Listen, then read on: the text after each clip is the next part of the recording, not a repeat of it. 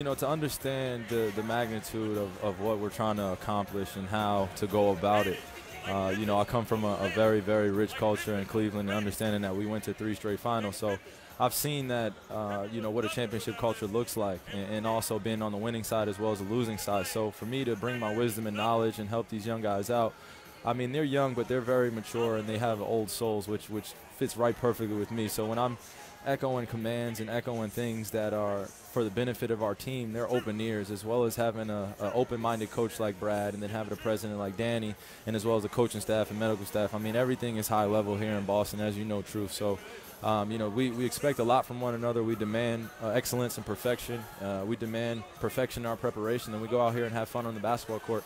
And that's something I'm looking forward to do going to the regular season.